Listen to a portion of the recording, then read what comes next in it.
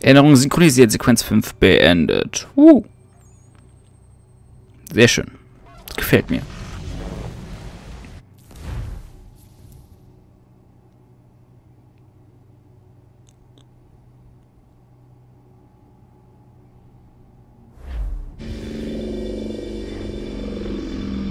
Willkommen zurück, Desmond.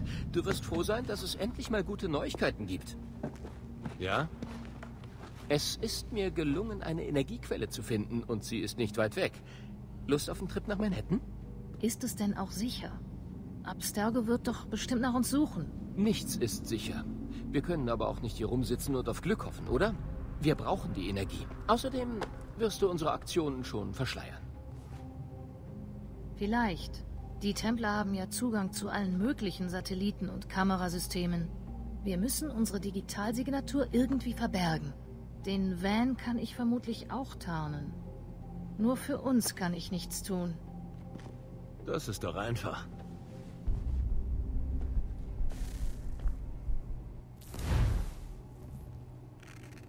Desmond wieder ist wieder aktiv im Business.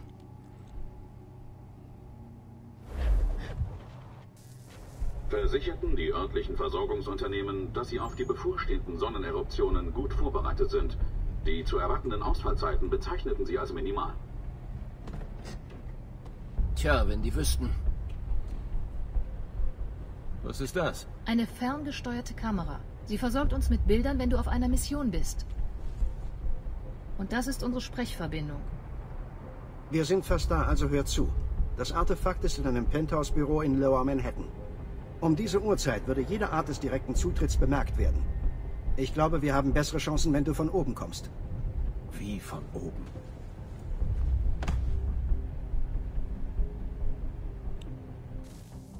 Fallschirm.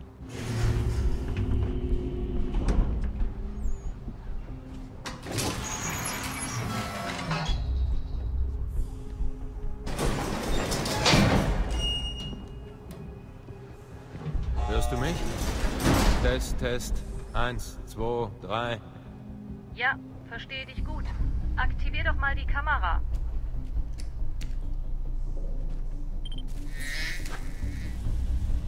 Ich habe ein Bild. Die Diagnose läuft. Perfekt. Ich habe ein schönes, starkes Signal. Nur als Warnung. Von jetzt an hast du keinen Zugang zum Aufzug. Du musst auf die altmodische Art nach oben. Na super. Dann geht, dann, dann mal los.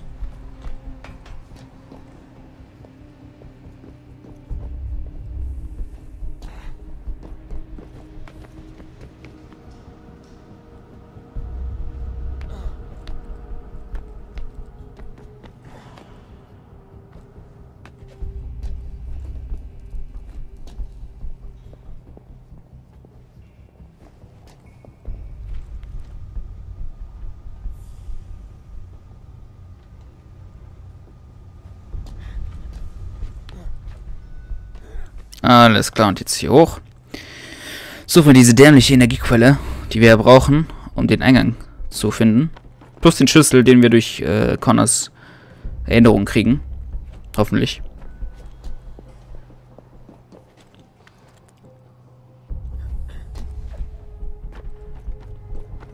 Ah, das ist Bild nicht bewegt. Was für eine tolle Aussicht. Ehrlich, Sean. Leck mich. Echt mal, das war verdammt knapp. Krass runtergerutscht und dann plötzlich, huh.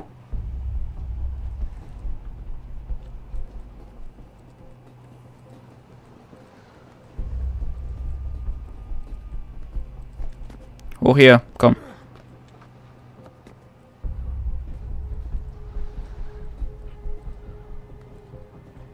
Und weiter und weiter.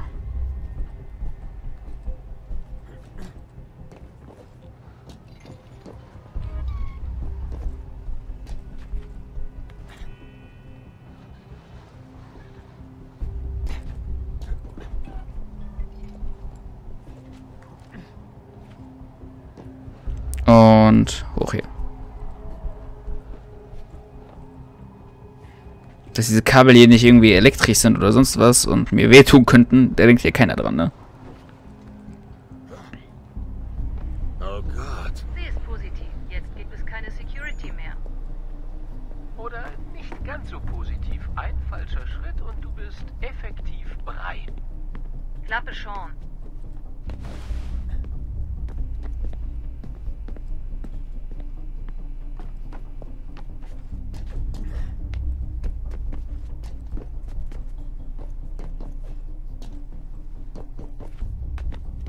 Wie gesagt, danke Freunde, dass ich hier laufen kann.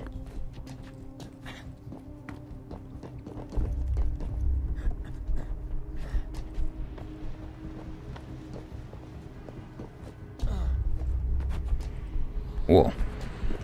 Knäppchen.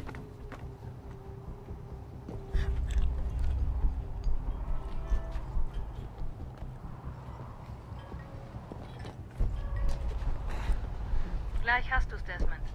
Da oben auf dem beleuchteten Kran solltest du hoch genug sein für den Sprung. Solltest? Das klappt schon, keine Angst. Naja, ein bisschen Angst wäre schon angebracht. Sicher war sie high, als sie das berechnet hat. Sean! Ein Witz. Das war ein Witz. Oder nicht? Na, schauen, ey. Meine Güte.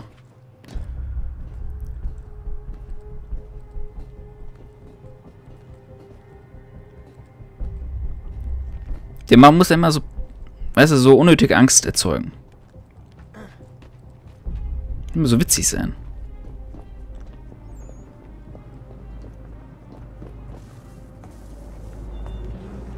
Spring, wenn du bereit bist, aber öffne den Schirm erst auf mein Signal. Das Timing ist hier sehr wichtig.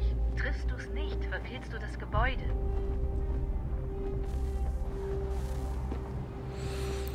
Okay. Haben wir alles dabei? Zahnpasta, Handtuch, Flasche Wasser, was zu trinken, was zu essen. Haben wir? Alles klar. Dann sagen wir auf 3, 2, 1. Springt Geronimo! Äh. Wow.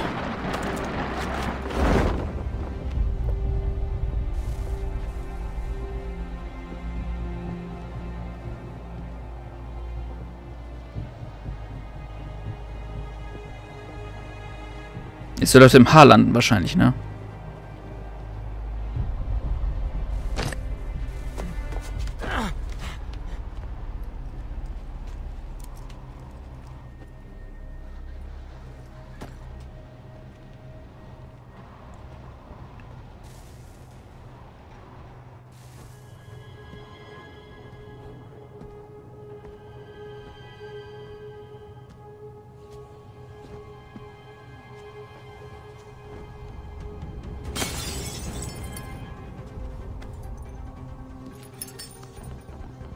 Das war nicht übel. So, du bist also Desmond. Ich hatte etwas anderes erwartet. Aber ich schätze, dein Verein hat heutzutage wenig Optionen. Wer bist du? Frag deinen Vater. Jetzt gib mir das. Wohl kaum. Pass auf. Ich soll dich zwar nicht umbringen, aber der Boss hat nichts davon gesagt, dass ich dir nicht wehtun darf. Also ich zähle jetzt bis... Ah!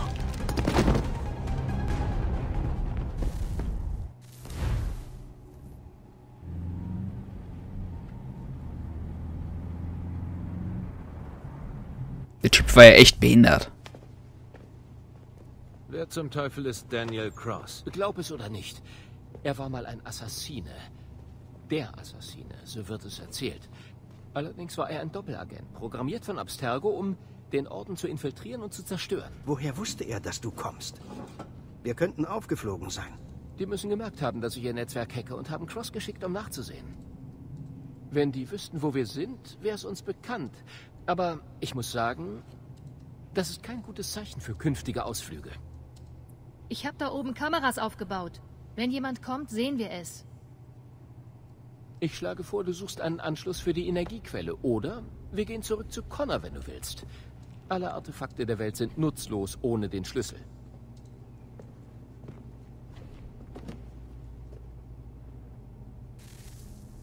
Ja, läuft ja. Okay, reden wir mal ein bisschen mit Rebecca. Ich weiß, ihr haltet mich für bescheuert. Aber ich habe den Eindruck, dass uns jemand beobachtet. Wir werden beobachtet. Von Juno.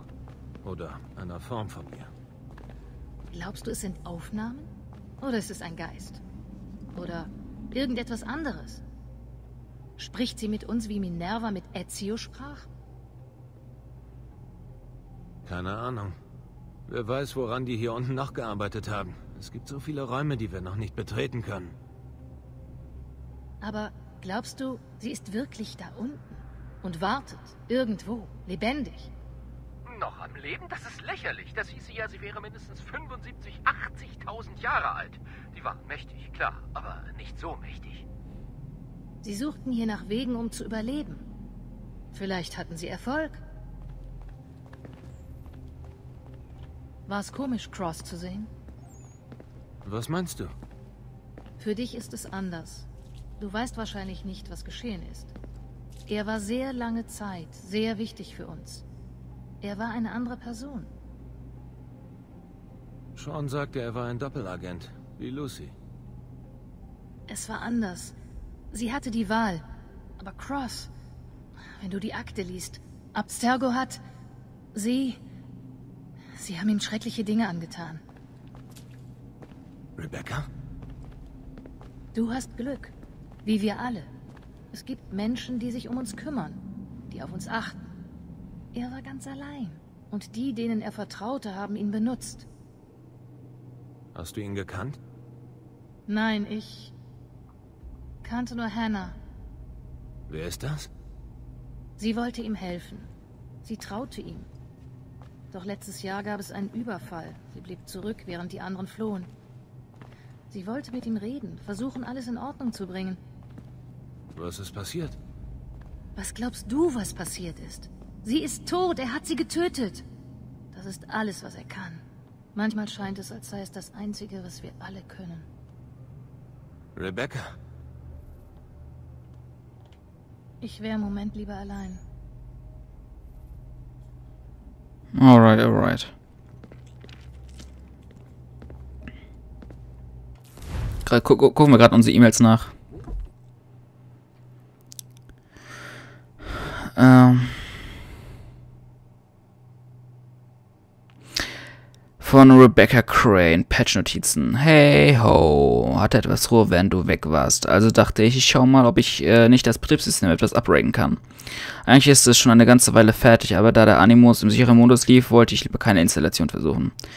Was ich verändert habe, sollte er sollte er wie heißen, weil einige aus den anderen Zellen mitgeholfen haben. Das Zielsystem wurde modifiziert, du solltest nun leicht im Kampf geschehen und wieder herauskommen. Achso. Mm. Da,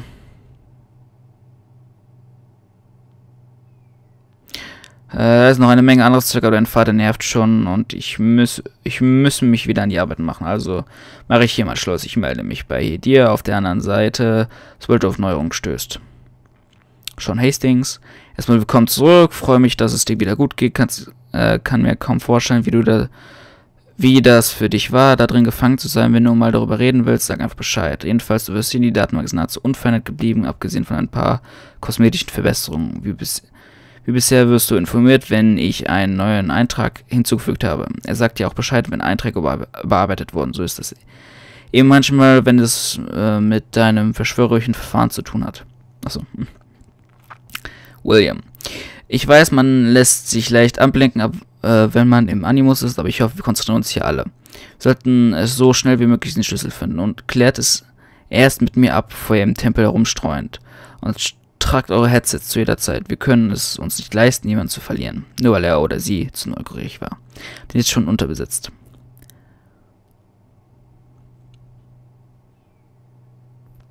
Boah, ich hab keinen Bock, diese... Wie viel sind denn das?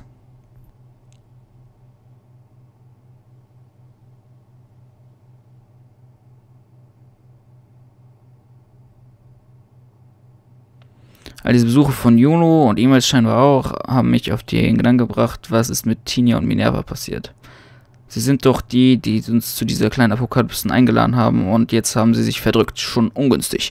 Verdammt unhöflich. Ich werde das später mal etwas rumstochern. Ich werde da später mal etwas rumstochern. Vielleicht lässt sich an irgendwelchen Spuren kennen, was mit ihnen passiert ist.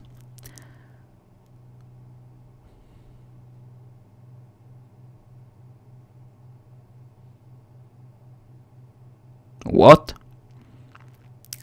Ähm.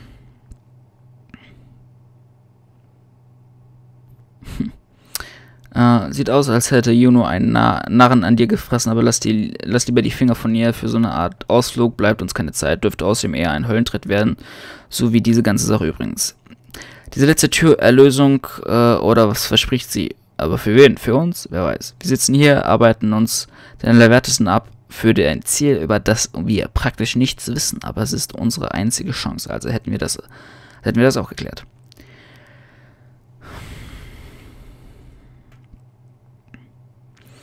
Okay, das ist wahrscheinlich Minerva mit diesen komischen Zahlen. Ich habe einen Weg gefunden, die Impulse besser zu steuern, einen Gedanken zu formulieren und ihnen zu senden, ihm eine Struktur zu geben, eine Ordnung in ihre, in ihr fürchtet Ordnung, dein Volk, die sanfte Hand, führt die Herde, es ist ein Zeichen von Güte, nichts, nicht, nicht Grausamkeit.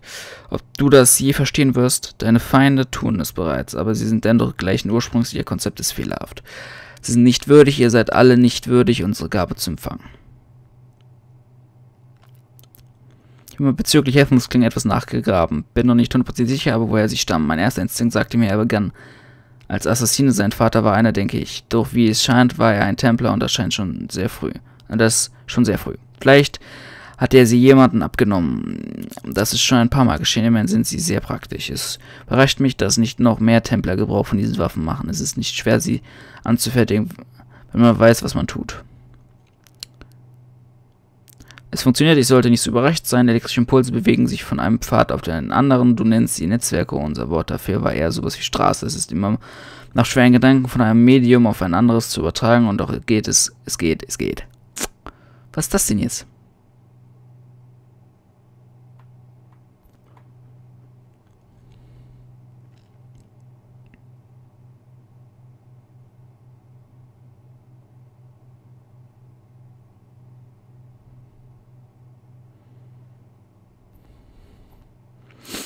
Ähm. Ja, tschö.